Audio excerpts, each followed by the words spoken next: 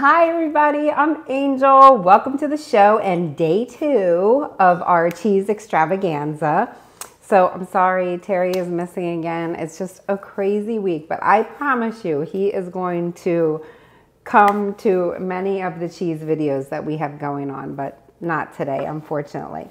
So I wanted to show you first you know what? I did a major Costco run today and I got so many fresh fruits and vegetables and I was so excited because remember I told you yesterday we were low on grapes. Now we have six boxes of grapes, so we're not low anymore.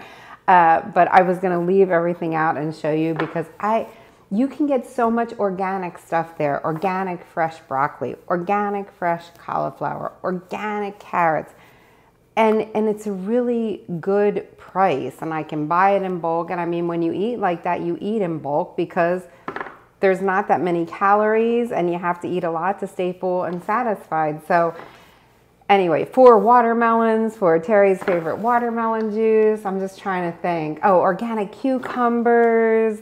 I mean the list goes on and on and on and on. I had so much stuff. So and it was a rainy day Anyway, here is the mozzarella cheese from yesterday. Remember I told you it was not going to be pretty. This is actually the first I opened it.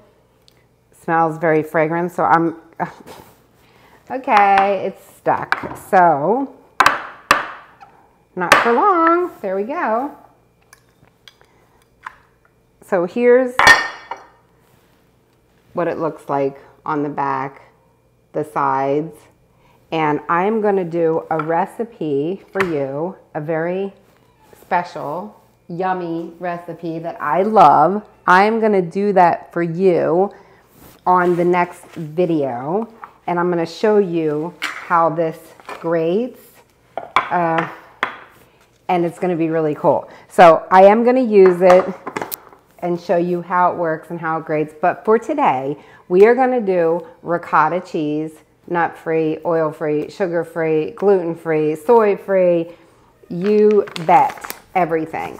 So I know I told you yesterday that I was low on sunflower seeds, which is why I had to stop videoing. And this actually did come, but it didn't come till like nine o'clock last night. And I was telling you that I order my favorite sunflower seeds from Amazon, but these are actually you pick up from Amazon, not affiliated. I'm just sharing uh, the sunflower seeds I like. I like their size. I like all of it. One thing that I used to love at Trader Joe's was their raw sunflower seeds because not only were they good and raw, but they were cheap.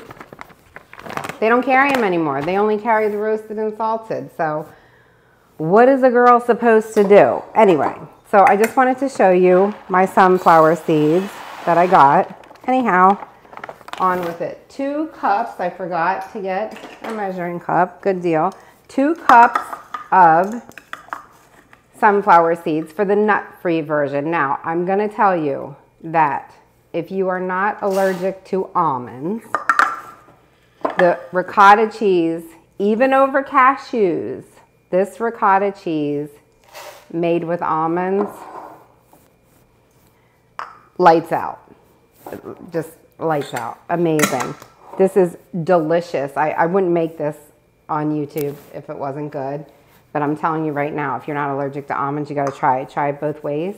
Um, the almonds, and the almonds have more calories and more fat than the sunflower seeds, but that's probably why it tastes so good. But when you do that, you will need to soak the almonds for at least one hour and peel them. You don't want to put almonds in here that have almond peels and, and what have you. So Anyway, two cups of sunflower seeds for this recipe. A whole lemon juiced or a half of a big one. So this is the other half from the cheese that I made yesterday. So we're just gonna put our lemon juice in here. I don't really measure it. I just go by how big the, the lemons are. Because for me, when I have a recipe, one teaspoon or a half a teaspoon or a half of a tablespoon or whatever of a lemon, you're trying to squeeze it. And I mean, I guess you could squeeze it into a bowl and then you have another bowl to wash. So look, I always say a half of a big lemon is one tablespoon, maybe. There you go. Sorry, off on a tangent.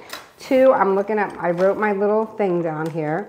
Two tablespoons of nutritional yeast. And it doesn't get this recipe, the recipe yesterday was easy, but this is this recipe today is beyond easy and good. And you can use this in anything that you would use ricotta in anything is real big time crowd pleaser. One tablespoon of apple cider vinegar. I like the raw, so that's what I use. One teaspoon of tamari. I always buy the 50% less sodium because tamari does have sodium in it, but I buy the 50% less. And I like tamari. If you have a Bragg's or soy sauce, go ahead and use that. Don't, don't run out and buy tamari if you want to do this. I do one teaspoon of tamari in this recipe. If you use salt, you don't have to use tamari. You could put salt in here. You know, I guess try a half a teaspoon, then a whole teaspoon, because it's probably maybe a little bit saltier than tamari, but you could try it. Or you could try it this way and see that it tastes delicious. One tablespoon of white miso paste, so yum. This is one of my secret ingredients, which is not so secret because you guys see me using it all the time. Guys and gals. Um, let's see, did we do everything? Okay, three quarter cup of water. So I have a quarter of a cup here. And then a half of a cup. And I just know this is a good consistency, so I don't want to I don't want to guess, okay? And then one teaspoon of garlic powder, and I am so sorry, I forgot my garlic powder over here. So one teaspoon. Again, I'm just doing this realistic. I don't have anything measured out. I just want to show you how fast you can do this. And for some reason, I grabbed a half of a teaspoon, so there we go too. All right, we have everything, boom, boom, boom. That's it, okay? Then we're gonna grind it up in our high-speed blender, and you're gonna see how it looks like ricotta and tastes like it. Delish. Okay, so we're all done. Simple, simple. And you're going to see why I didn't want to guess on the water because you want this to be ricotta consistency. You don't want this to be running all over the place. So there's your ricotta cheese. Yum. I just put it in a container and keep it for whatever I'm doing. Wow. It's so crazy because one teaspoon of garlic powder has an amazing garlic smell. So I just pull this out of here. I put it in a container. I use it in lasagna, you know, whatever. I use it in a, you could make a pasta bake out of like a lentil pasta or a brown rice pasta or whatever your favorite pasta is.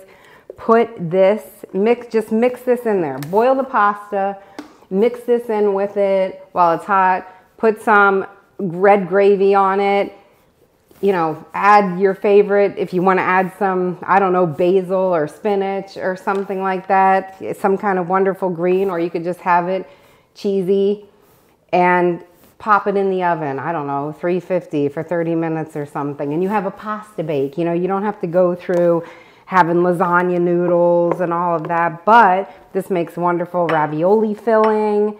I mean, the list goes on and on. This stuff is incredible. Let me get a spoon to make sure we didn't miss anything because I'm crazy for that. Mm. Honest to God, and I hope this isn't gross to you, but I can just eat this ricotta cheese like this. I love it. So I hope you enjoyed this ricotta recipe. I don't think it gets any simpler than this. And I'm going to show you on tomorrow's video how we're going to do something really special. So stay tuned. Thank you everybody for all your support. Please give me a like if you like this recipe and this video. Simple, easy, fun, and delicious. And I really appreciate all of you. Have a wonderful day. Take care. Bye.